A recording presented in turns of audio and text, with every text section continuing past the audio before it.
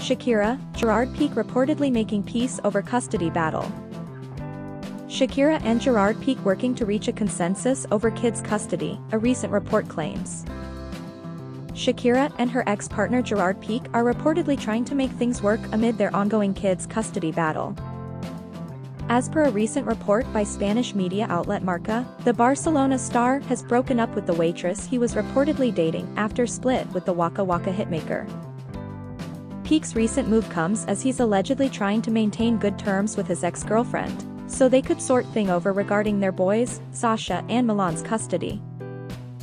A press photographer Jordi Martin told Telecinco that the former couple has started to reconcile over custody issues. Martin added that Shakira and Pique are looking to come to a consensus and a shared understanding on their as well as their kids' future.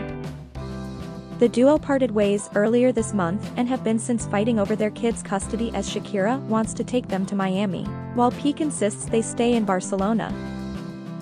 Previously, an insider spilled to media outlet Informalia that Pique will not even allow Shakira to go on a vacation with their children, outside of Barcelona, Shakira is not going to stop until she manages to move to Miami and take the children with her, the source said.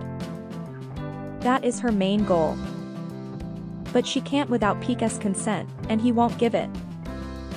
Not even for a few days of vacation, the insider added,